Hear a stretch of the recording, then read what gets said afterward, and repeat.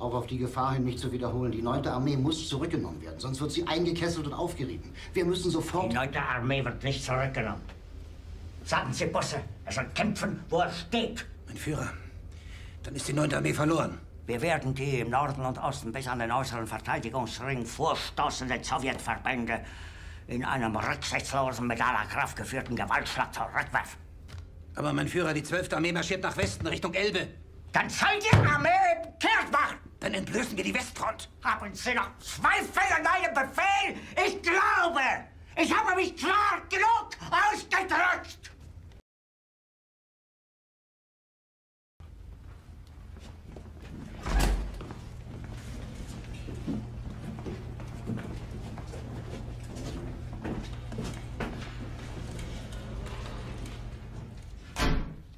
Das war ein Befehl!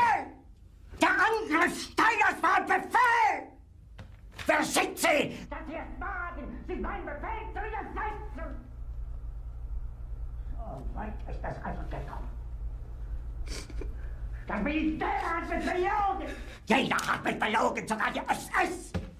Die gesamte Generalität ist nichts weiter als ein Haufen niederträchtiger, treuloser Feiglinge! Mein Führer, ich kann nicht zulassen, dass die Soldaten, die für Sie verbringen... Nicht als Feiglinge!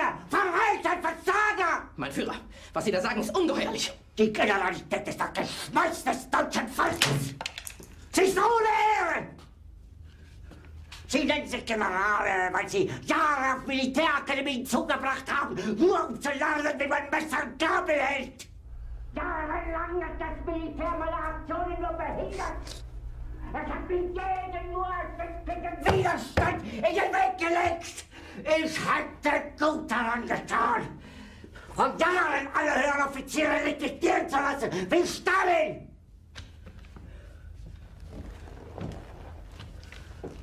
Ich war nie auf einer Akademie. Und doch habe ich allein, allein auf mich gestellt, ganz Europa erobert. Verräter! Von allem Anfang an bin ich so verraten und betrogen worden. Es wurde ein ungeheurer Verrat geübt am deutschen Volke. Aber alle diese Verräter werden bezahlen. Mit ihrem eigenen Blut werden sie bezahlen. Sie werden es saufen in ihrem eigenen Blut. Bitte gerne.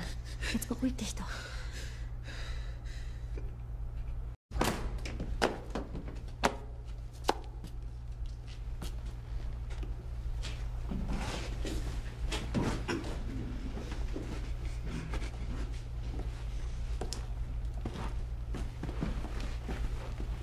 Das kann der Führer nicht im Ernst gesagt haben, dass er sie erschießen will.